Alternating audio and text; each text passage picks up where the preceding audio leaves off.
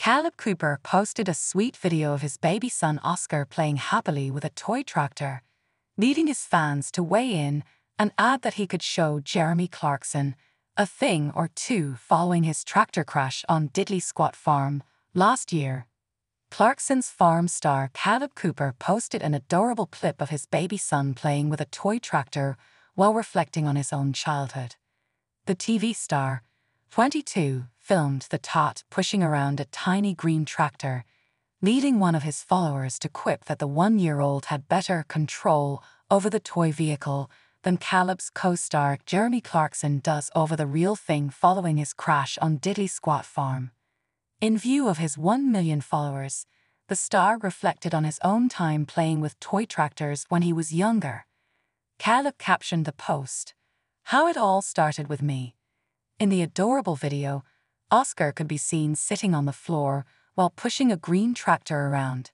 What you got, Os? Kaleb could be heard asking the tot as he played with the mini tractor.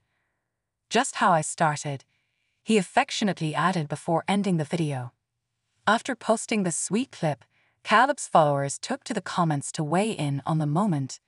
Instagram user 3 wrote, He will be out ploughing fields in no time. Skogsmaskens Faran added, Well, crashing a tractor is going into the accident book, thing, followed by a laughing face. Lisa Jane 5484 commented, He wants a Lamborghini, Others couldn't help but quip that the tot has better skills at driving the toy tractor than Kaleb's Clarkson's farm co-star Jeremy. Bud Bennett, 60 jived, got more control than Jeremy of a tractor. While Bubble Curls added, show Jeremy a thing or two already. Has to be said, he actually handles a tractor better than Jeremy.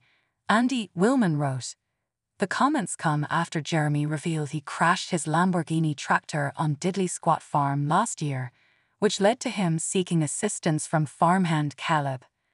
Jeremy detailed all in his column as the Grand Tour star admitted he crashed someone else's tractor. The farmer reveals he drove the 20,000 pounds machine into a lone telegraph pole in a 52 acre field. He wrote, I saw the pole coming from way back and I watched it grow larger in the windscreen, and then I hit it. Actually, that's not strictly accurate. I didn't hit it, nor did the tractor, but a wing of the 6 meter wide disc the tractor was towing did, at 17 kilometers per hour.